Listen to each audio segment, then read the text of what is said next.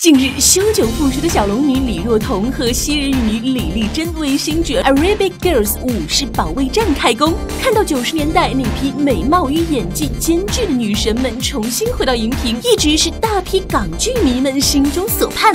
他们还是当年的样子吗？乔李若彤等待拍摄时没精打采的神态，哈气连篇，明显已不再适应高强度的工作。倒是奔五的李丽珍还有些精神，时常有说有笑。不过这镜头较远。还能依稀看出的浓妆加面时的表情都略带硬绷绷的感觉。都说岁月是把杀猪刀，再是女神也有变成。